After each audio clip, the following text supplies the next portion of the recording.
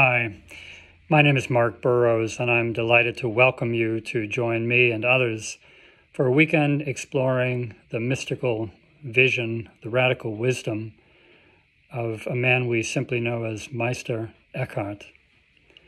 He was revered in his own day as a remarkable teacher, as a champion of lost causes, as uh, one who defended the wisdom circulating among a group of radical women known as the Beguines.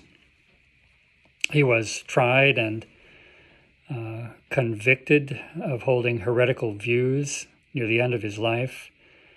Um, and in some ways, he simply was way ahead of his time. He's perhaps even ahead of our time.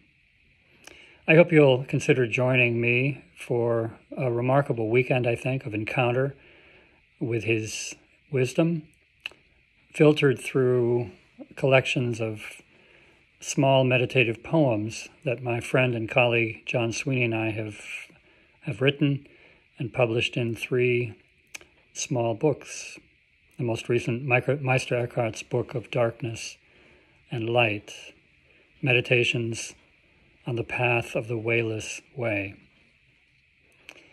If that's intriguing to you, and if you find yourself, as many do, perplexed in these times, uh, wondering how to find a ground for your life, well, this might be the chance for you to join others with that same question and listen together to the wisdom of this remarkable visionary.